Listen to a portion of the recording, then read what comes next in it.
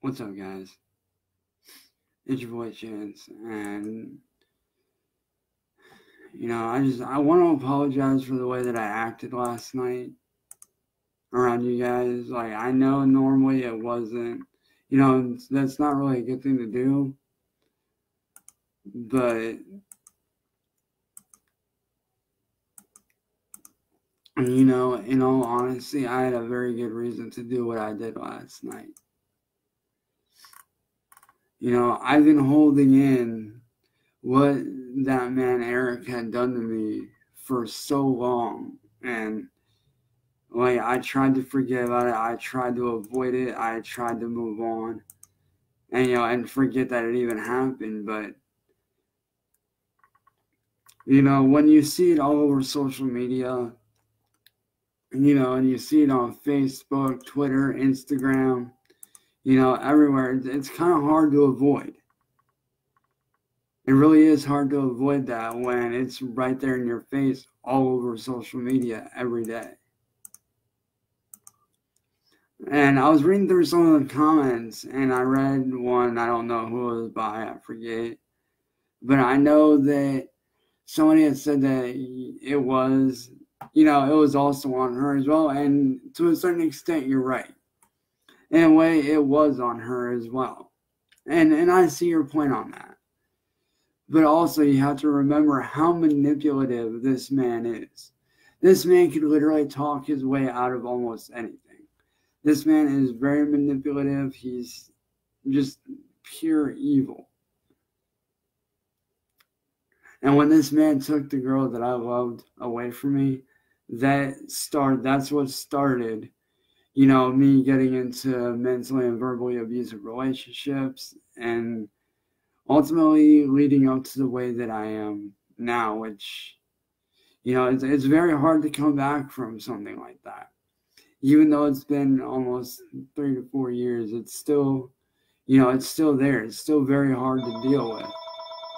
Hold that thought, guys.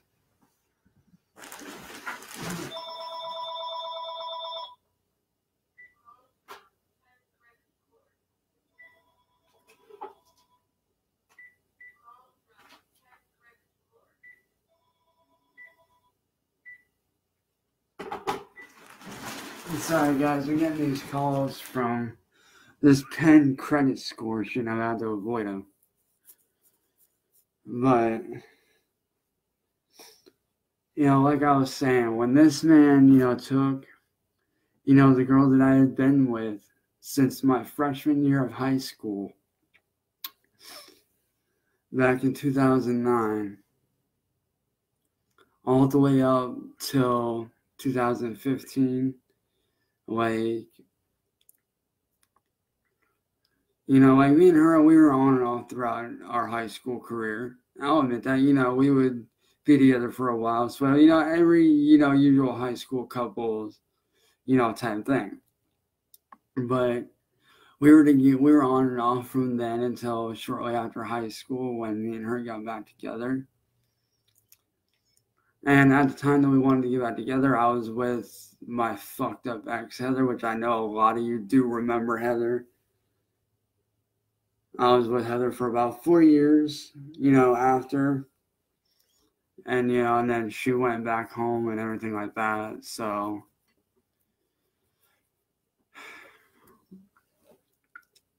But after Heather left, that's when me and Christina got together. And, you know, and everything was going good. And then all of a sudden Eric decided after me and her got into a fight that he would go behind my back and take her from me. After sitting there in front of my face, telling me that even though he liked her, that he would not date her out of pure respect for me. So that day that he took her from me, he not only stabbed me in the back, not only did he break his promise to me, he sent me on a downward spiral that I'm just now trying to come back from. You know, and I've been to counselors and everything, and believe me, no amount of counseling can help what he's done to me. No amount of therapy can ever help what he's put me through. Because when he took her from me, that's when I started getting into, you know, the mentally abusive and verbally abusive relationships. And it's it's not easy. You know, a lot of people think, oh, you know, you'll be all right, you'll move on, you'll find the right one. Well, in my case, it's not that simple. Because there's not very many that do want to be with me because of the fact that, yes, I do work. I have my very own custom clothing shop. You know, I have my own custom clothing shop and, you know, and I do music. That's my job. That's how I make my income. But they hate, and they don't hate the fact that I have my own custom clothing shop and that I run my own business. They don't mind that. But what pisses them off is the fact that I do still live at home when with my mom when they don't understand the situation. See, mom got into she got hit by a car a few years back, and ever since, you know, she's had severe problems where she can barely walk up and down the stairs and stuff like that, and it's it's hard. So while she's at work doing painting with our roommate throughout the day, because they both work under the same guy. And so, you know, while she does housework, simple stuff like that, you know, I have to sit here and I have to watch the house because we do have thieves around here that do live around here. So while she's at work, I sit here and I watch the house during the day. And, you know, and I take care of the dog and stuff like that. And a lot of people hate that. They hate the fact that I don't have my own home. And believe me, I want to have my own house. I would love that, but given my circumstances, it's just not possible. And even the ones that don't mind all that, it's their parents that hate me for no reason. I don't know if it's because of the way I look or what, but that's that's how it is for me. That's why it's so hard for me to be with anyone because of all that and on top of all the mental and verbal abuse that I've had to face over the years, the constant being scared that they're gonna leave and you know trying to stay positive it's it's not as easy as people would think because when you've gone through mental and verbal abuse for so many years and you try to be with somebody after all that it's very very hard to it's very hard because you're constantly having to remind yourself you know hey this person's not going to leave or hey you know what if they're not really doing the things that your mind is thinking that they're doing? Because a lot of the times when I'm with someone, I'm constantly thinking, hey, what if this person, you know, is doing this? You know, what are they doing? Like, you know, like what if they're cheating on me or this and that? Like, there's a lot of things that go through your mind when you're in that state of mind, and it's it's a very, very bad place to be. which is why you know whenever I'm not you know rec- like if I'm not recording or you know playing you know video games and doing YouTube videos for my channel and whatnot you know when I'm laying there and I'm inside my head that's a bad place to be not saying that I'm suicidal not saying that at all because you know I'm past that but it starts to make you think I get inside my head and let's just say that that space between my ears is not a very good place to be. It's dark. It's very scary, honestly. You know, it makes you think, you know, are you really good enough for anyone? And, I, and I'm sure I am. And maybe I just haven't found them yet. But at the same time, it's very hard to, you know, stay positive when you've gone through all that stuff that I've gone through. And, you know, and like I said, you know, I'm sorry for going off like I did last night on Eric Leroux, but you gotta understand what he did to me destroyed me. And that set me on a downward spiral into where I was at, which is mentally and verbally abusive relationships, one right after the other.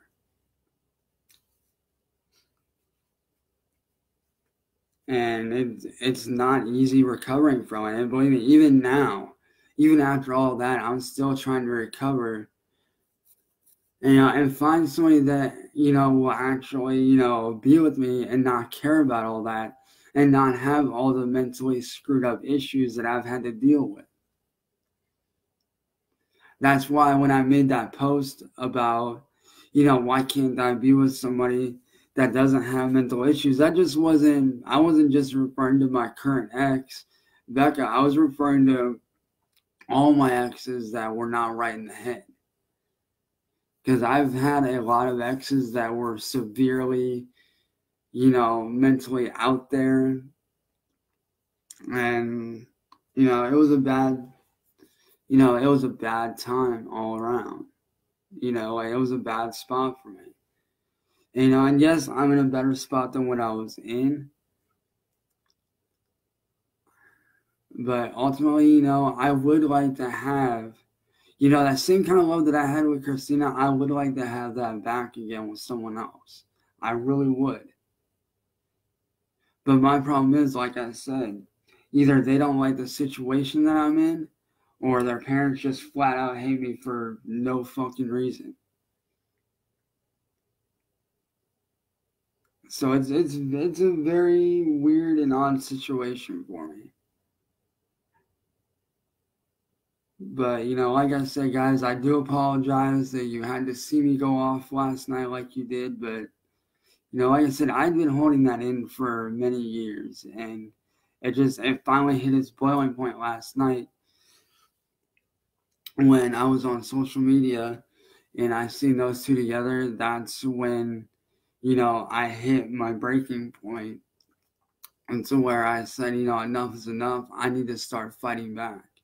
I need to stand up for myself and say something. And honestly, you guys have no idea how, how fucking hard that was for me to do.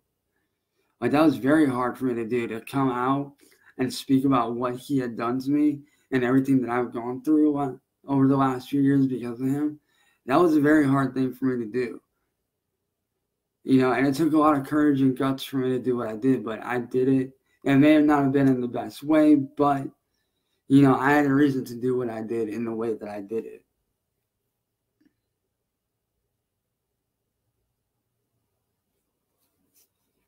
You know, like I said, you know, if you guys have ever seen the pictures of me and Christina together, you'd see why me and her were really, really good together. My mom liked her, my family liked her. You know, her family liked me. You know, everything was great. You know, I'd met her family, she met mine, everything was good. And yeah, you know, and this is funny. One thing that she used to do all the time is she would always, like every day after work, she would sneak over here even though she was supposed like she was supposed to go home, she would constantly, you know, sneak over here. We'd spend some time together, and then she'd go home. Like that's that was our thing. That's what we did.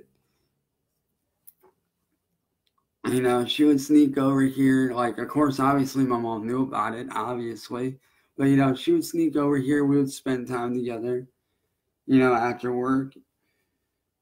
You know, you know, we'd spend time together, you know, watch movies, go for walks, you know, cuddle, that kind of thing. But because of Eric LaRue and what he did to me, all that is gone. And I know it's kind of messed up to compare, you know, somebody to one of your exes, but you guys don't understand. Like, this is the girl that I wanted to spend the rest of my life with. This was literally a girl I had known since my freshman year of high school. That this girl knew me better than anyone. And when I mean better than anyone, I mean better than anyone. Like this girl knew all my secrets, everything that I've been through, you know, what my life was like. She knew every little thing about me. Even the stuff I don't tell you guys, she knew about and that's and she was told and that's like i can't say that i've ever been able to really do that with anyone.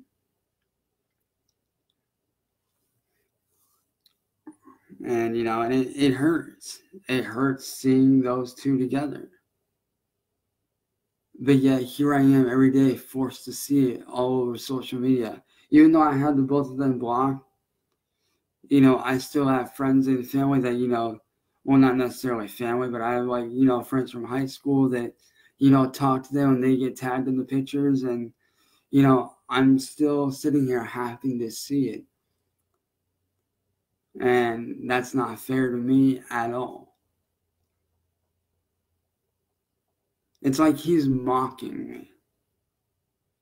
He's basically, by him doing that, he's basically saying, ha ha ha, I took your girl from you. What are you going to do about it?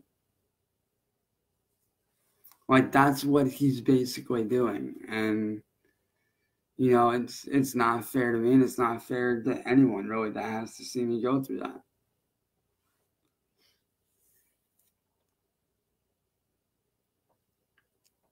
But you know, I do hope that you guys understand why I did what I did and where I was ultimately coming from. And, you know, maybe and hopefully one day I will find that person that, you know, I can actually be, you know, be with and be myself around.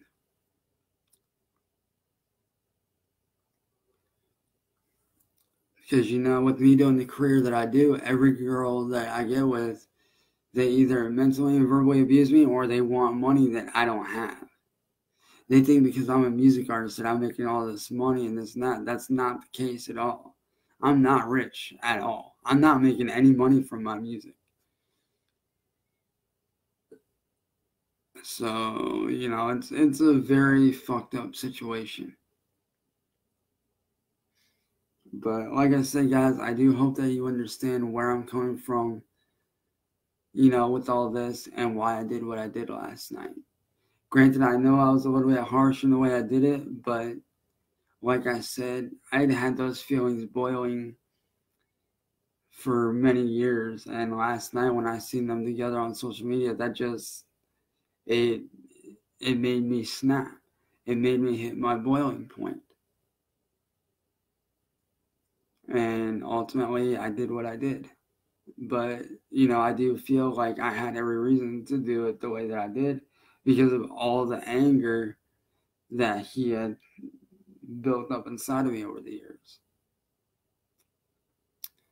But uh anyways guys, I love you all. And uh, hopefully I can get back to a better state of, you know, mine in the long run. Like I'm I'm trying to come back from all this mental and verbal abuse. I'm trying to, you know, put myself out there. You know, I'm trying to, you know, be that person that I used to be before all this. And it's it's not easy, but I am trying. And hopefully if the right one comes along, I'll be able to do that. And that's ultimately what I'm that's ultimately what I'm looking for. Is somebody that I can be with that will understand my situation, support me in it, and help me get me help get me back to you know where I need to be.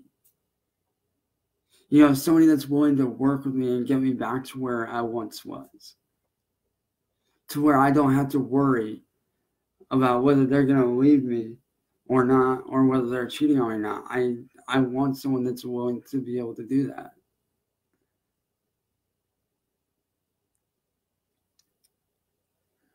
But like I said, guys, I hope you guys understand where I'm coming from with all this and why I did what I did last night. Um, I also will be talking about why me and my current ex, Becca, split up. I will be talking about that later on. Um, I actually might wind up talking, my, I may or may not talk about that in my next YouTube video that I'm working on. But uh, with that being said, I love you guys, and I'll see you guys later. Peace.